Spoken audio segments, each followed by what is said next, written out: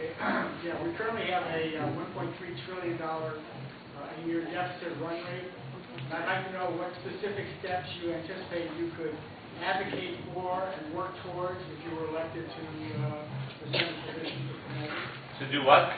What, what, what specific steps you could advocate and- and work towards to reduce the deficit? uh, Well, the, the, the, the- the main thing that I would like to do to reduce the deficit is try to convince 40 other senators to stand with me and, and filibuster and not allow the debt ceiling to be raised.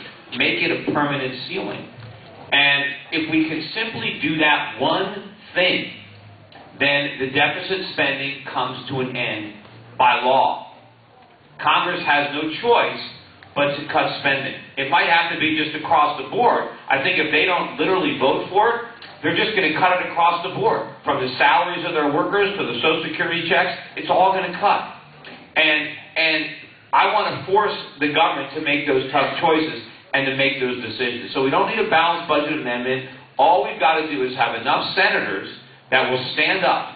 And to do that, of course, you have to have senators like me that don't care if they get reelected. Because, of course, they're going to try to, you know, vilify anybody. Oh, he's not, he's, he's not letting the Social Security checks go out. You have to be willing to say, that's right. That's right. I'm, that's what I'm doing. Um, you know, I am forcing these decisions on the government.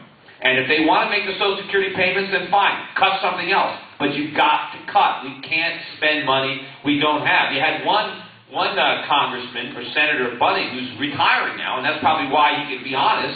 He tried to block uh, the government from extending Social Security benefits, I mean, unemployment benefits, which was about twenty billion dollars. He said, "Well, if we're going to do this, let's let's not borrow it. Let's cut something else."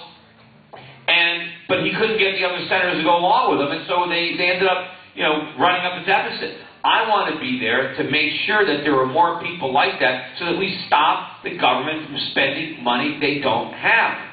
And you know, they think that well, we have to spend money because the economy is weak, and this is the only way to, to, to, to get it going. No, the economy is weak because the government is spending too much money, and the more money the government spends, the weaker it's going to get. They haven't figured that out yet. It's a real simple concept, but I got to somebody's got to be there and explain it to them.